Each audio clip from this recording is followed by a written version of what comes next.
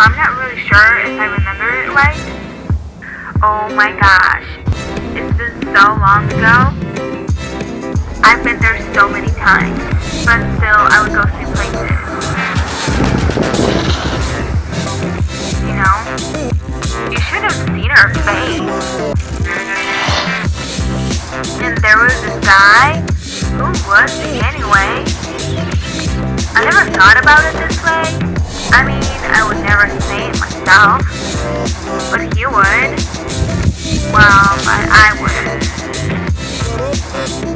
Hold on. Well, anyway.